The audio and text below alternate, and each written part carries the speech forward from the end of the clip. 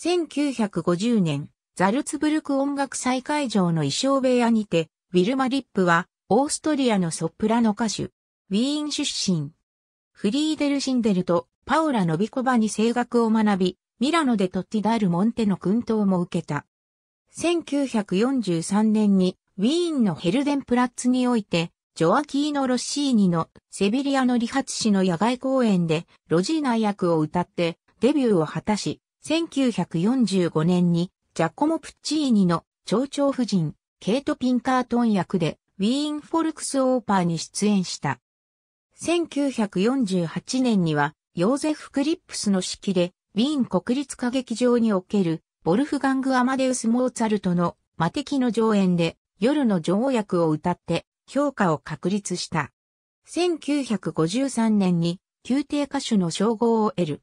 1981年に歌手活動を引退し、1982年から1998年までモーツァルテウム音楽院で教鞭を取った。イニングアムアーマーゼにて没。ウィルマリップディスコグスハット、カンマーサンガリンウィルマリップ93、ジャリックゲシュトルベン。ナハリヒテン、アット、オリジナルの2019年2月8日、時点におけるアーカイブ。Http コロンスラッシュスラッシュアーカイブドット .is スラッシュ ndbcx2019 年2月8日閲覧。 Disparition de Wilma Lipp, éternelle reine de la nuit。 francemusique.fr オリジナルの2019年2月8日、時点におけるアーカイブ。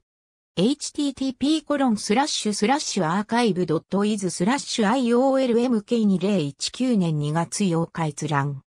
アーカイブ2019年2月8日ウェイバックマシン。アーカイブ2019年2月8日ウェイバックマシン。アーカイブ2019年2月11日ウェイバックマシン。ありがとうございます。